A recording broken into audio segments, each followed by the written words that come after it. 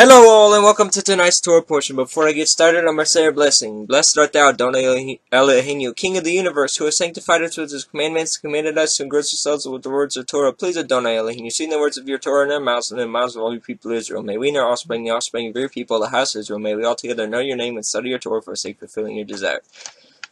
Blessed are you, Adonai, who teaches Torah to his people Israel. Blessed are you, Adonai Eloheinu, King of the universe, who chose us from all the nations and gave us the Torah. Blessed are you, Adonai, giver of the Torah. May Adonai bless you and keep watch over you. May Adonai make his presence to light you, may be kind to you. May Adonai bless favor on you and grant you peace. Today's read is Mark 4:35 through 5:43.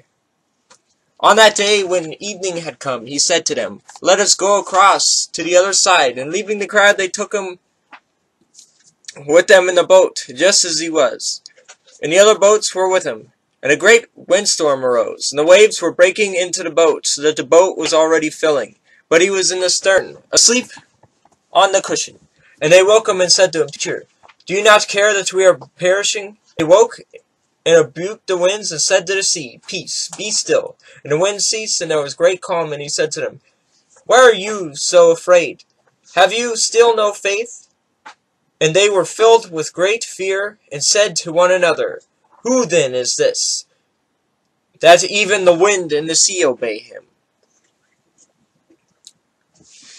They came to the other side of the sea, to the country, country of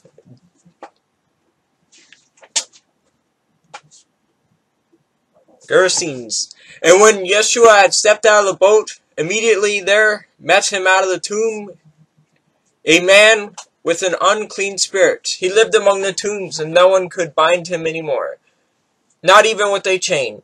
For he had often been bound with shackles and chains, but he wrenched the chains apart, and he broke the shackles into pieces. No one had the strength to subdue him. Night and day, among the tombs and on the mountains, he was always crying out and cutting himself with stones.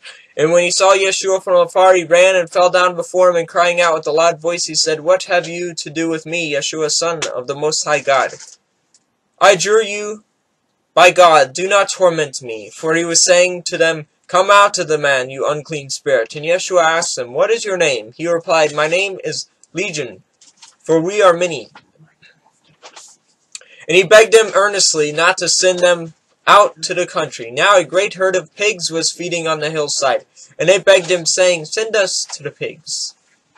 Let us enter them. So he gave them permission, and the unclean spirits came out and entered the pigs, and the herd, numbering about two thousand, rushed down the steep bank into the sea and drowned in the sea. The herdsmen fled and told it in the city and in the country, and the people came to see what it was that had happened. And they came to Yeshua and saw the demon-possessed man, one who had the legion, sitting there, clothed and in his right mind. And they were afraid. Those who had seen it described to them what had happened to the demon-possessed man and to the And they began to beg Yeshua to depart from their region. And he was getting into the boat. The man who had been possessed with demons begged him that he might be with him. And he did not permit him, but said to him, Go home to your friends, and tell them how much the Lord has done for you,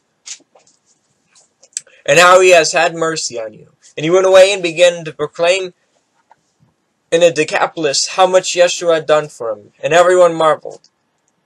And when Yeshua had crossed again in the boat to the other side, a great crowd gathered about him, and he was beside the sea. They came out of one of the rulers' synagogues, Jairus by name, and seeing him he fell at his feet and implored him earnestly, saying, My little daughter is at the point of death. Come and lay your hands on her, so that she may be well, made well and alive. And he went with him. And a great crowd followed him and thronged about him. And there was a woman who had a discharge of blood for twelve years, and who had suffered much under many physicians, and had spent all that she had, and was no better, but rather grew, grew worse.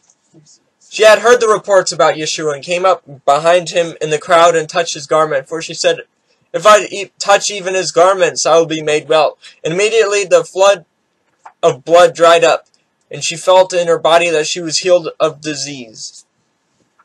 And Yeshua Perceiving in himself that power had gone out from him, immediately turned about in the crowd and said, Who touched my garments? And his disciples said to him, You see the crowd pressing around you, and yet you say, Who touched me?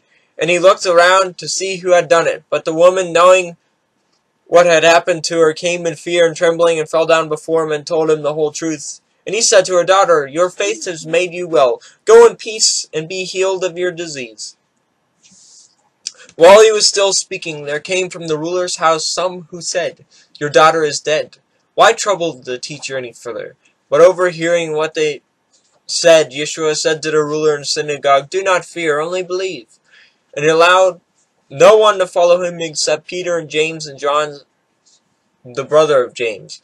They came to the house of the ruler in the synagogue, and Yeshua saw a commotion and people weeping and wailing loudly. And when he had entered, he said to them, Why are you making commotion and weeping? The child is not dead, but sleeping. And they laughed at him, but he put them all outside and took the child's father and mother and those who were with them and went in to where the child was. Taking her by the hand, he said to her, Talitha Kumi, which means, Little girl, I say to you, arise. And immediately the girl got up and began walking, for she was twelve years of age.